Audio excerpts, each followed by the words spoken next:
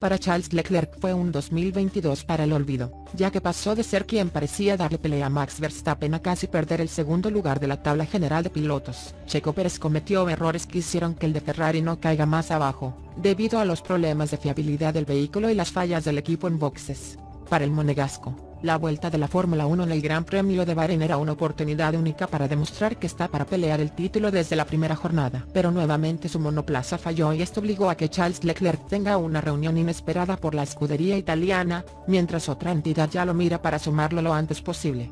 El piloto de Ferrari se reunió con el hombre más poderoso de la empresa, John Elkann, y le habló de una situación que para él no da para más. Quiere competir y es leal al contrato que lo une a ese equipo hasta 2024, pero no soportará más errores de fiabilidad y tiene a otro interesado, quienes quieren contratar al corredor de 25 años.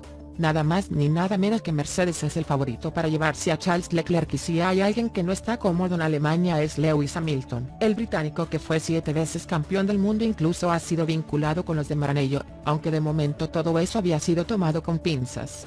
Ahora, con el monegasco en el ojo de la tormenta, abrumado por la falta de fiabilidad en el auto y con la sensación de que no podrá apuntar a ser la pesadilla de un Verstappen que no para de ganar, tendría seriamente la chance de cambiar de escudería en 2024 o incluso a mitad de esta temporada. Para Charles Leclerc ya es casi nulo el margen de error para replantearse su futuro, por lo que tras el desastre del Gran Premio de Bahrein, hay una nueva y posiblemente última oportunidad para Ferrari. Es que el piloto ya no puede ocultar su malestar, ni la escudería su vergüenza.